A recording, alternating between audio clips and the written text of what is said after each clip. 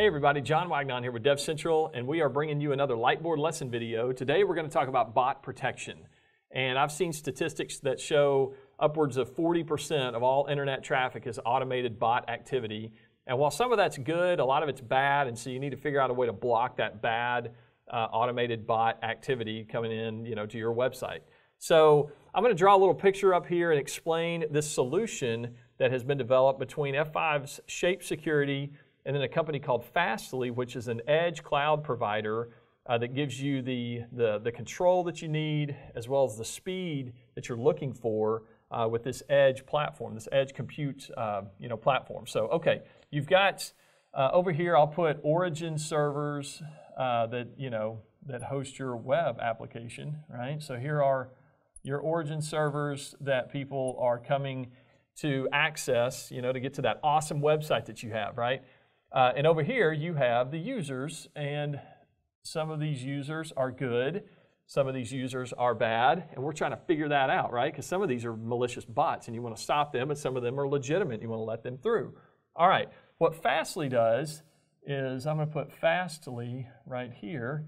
Fastly provides, like I said, this edge uh, cloud platform. So I'm going to put a few little, uh, what I'm going to call points of presence right here. Uh, Fastly calls these uh, shields, by the way. So I'll say Fastly shield, right? And each one of these would be a Fastly shield, which again is like a it's like a point of presence um, that fronts your origin server. So as a user comes in, uh, then you can make them go through a certain Fastly shield um, or or not. You can configure a lot of stuff here. So uh, among other things, these are points of presence, but also they do a lot of caching. They talk to one another. So you can imagine this Fastly Shield, you know, provides that edge, uh, you know, that edge cloud uh, platform that you know that, that you're looking for. All right.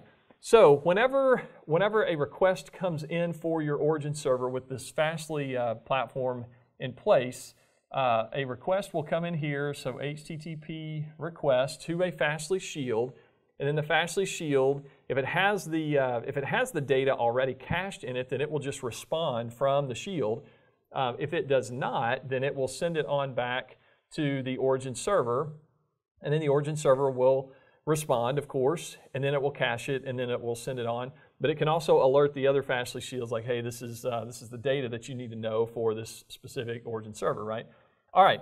So that's kind of a typical flow of, of how the user interaction will work with this Fastly Shield in place.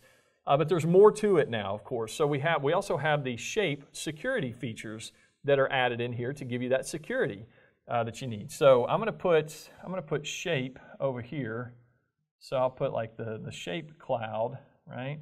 And there are you know multiple instances of that running to do awesome shape security stuff. Um, one of the cool things about how Shape Security works is it's got uh, JavaScript that it caches at these Fastly edges. So I'm going to put uh, I'm going to put JavaScript right here. Java script from Shape is cached at the Fastly edge. So as a user's HTTP request comes in, this JavaScript is going to be delivered back to the client.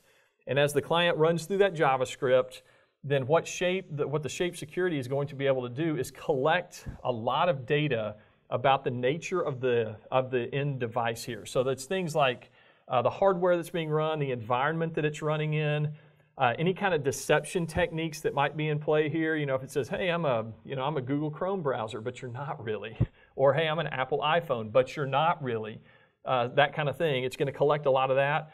Um, user behavior. So, you know, is this is this normal user behavior? You're move, you're moving your mouse like all sporadically weird. No one no one would possibly ever do that kind of thing. So it's, it's a lot of stuff like that. There's much much more to it that this JavaScript collects about the nature of the end device. Uh, one thing I would point out is that it never collects personally identifiable information or PII about the end user, right? Um, so as this JavaScript is delivered back to the client device, and the client device runs this JavaScript, then the shape security features are going to be able to determine uh, whether this is a legitimate end user or not, right? And one of the things that has been introduced uh, recently with this shape solution is this, uh, this feature called a quick check. So I'm going to put uh, quick check right here. So it's quick check, right?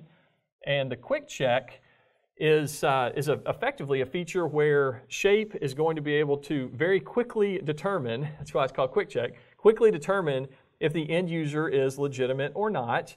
And if it is legitimate, if this is like, hey, we know that this is a legitimate user, then the quick check is going to say you're good to go. Um, and then the, the request is going to be able to come on back to the origin server or coming back to the Fastly Shield, the way it operates is it may just send, a, send the response from cache out of the shield but nonetheless, the quick check will alert Fastly at that point, hey, you can respond now. So whether it's an origin server or a cached response, nonetheless, the response is going to happen like very quickly like that, right? Um, so that's a really cool thing. It makes me think about like if you go to the theme park and you got a whole crowd of people coming up to ride the ride, and the one guy's like, hey, I got that fast pass, and he just gets to go right to the front, you know, and just bypass everybody else uh, then that's kind of like what this is, right? It's the fast pass right back to the, uh, the data you know, that you're looking for. All right, if the quick check fails though, if a user's request comes in, it's gonna run through the quick check. If the quick check fails, then it will be sent on to a deeper analysis here in the Shape Cloud, kind of the second level analysis, if you will. And then it will run through a, a more exhaustive list of checks to determine if this user is legitimate or not. And then if it is legitimate, then, then it will be sent back to the origin server, or like I said, the Fastly Shield's cache response will be able to, to go ahead and go through. Um, if it is not determined to be legitimate after that secondary check, then it's blocked. And so again, that's that's kind of the whole point of what we're trying to do here. Remember, a lot of these, uh, you know, a lot of these requests are coming from malicious bot activity, and you want to know if you need to block these things or not.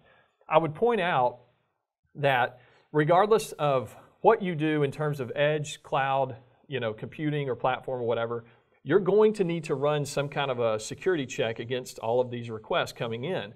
And so while this is a two-step process, um, it's, it's kind of cool actually that it is a two-step process because of this quick check. It's a very, very fast response uh, to know that, hey, this is a legitimate user, let them in.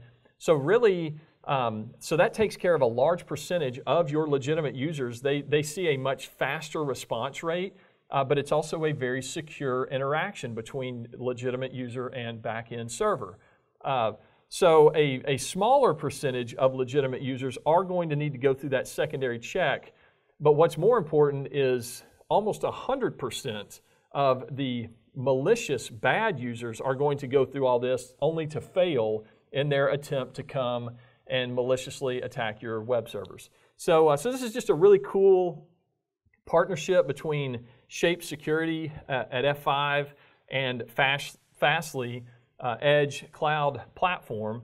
So this, you know, while while you know security and speed tend to be competing elements against one another in most environments, most solutions, you know, these are competing forces.